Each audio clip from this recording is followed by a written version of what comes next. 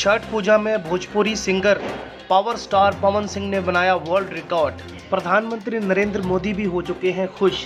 क्या है खबर की पूरी जानकारी? बताएँगे आपको पूरी डिटेल में, लेकिन उससे पहले अगर आप इस चैनल पर नए हैं तो प्लीज़ चैनल को लाइक वीडियो को सब्सक्राइब करके हमारी भोजपुरी इंडस्ट्री और पवन सिंह जी को आगे बढ़ाएँ।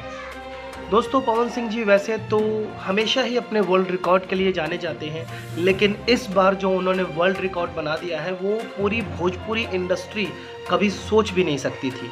आज जो उनका वर्ल्ड रिकॉर्ड हम आपको बताने जा रहे हैं, वो है भोजपुरी इंडस्ट्री का सबसे बड़ा गीत, छठ मैया का गीत।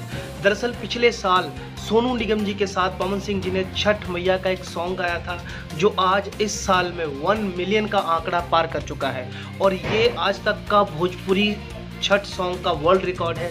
इसको आज तक कभी कोई तोड़ नहीं पाया है। आपको बता दें कि अभी तक बॉलीवुड साउथ में कोई ऐसा छठ सॉन्ग नहीं बना है जो एक मिलियन लाइक तक पहुँचा हो। ये पवन सिंह जी का पहला छठ सॉन्ग जो एक मिलियन लाइक का आंकड़ा पार किया है। दोस्तों, इस रिकॉर्ड से भोजपुरी इंडस्ट्री के सभी लोग बहुत ज़्यादा खुश हैं। आपको बता दें कि जब प्रधानमंत्री मोदी जब बिहार आते हैं तो वो भी छठ के बारे में बात करते हैं, छठ के गानों के बारे में बात करते हैं। तो आप सोच सकते हैं पवन सिंह इस रिकॉर्ड के लिए कितना खुश होंगे। तो दोस्तों, आप अपनी राय बताइए कि आप क्या कहना चाहेंगे पवन सिंह जी इस नए रिकॉर्ड के बारे में। आप अपनी राय हमें नीचे कमेंट करके ज़रूर दीजिएगा दोस्तों, अगर आप भी भोजपुर इंडस्ट्री पवन सिंह जी को प्यार करते हैं तो प्लीज़ इस चैनल को सब्सक्राइब और वीडियो को लाइक ज़रूर करिएगा। आपके लाइक और सब्सक्राइब की बहुत ज़रूरत है हमें। इसी तरीके से हमें सपोर्ट करते रहिए। धन्यवाद।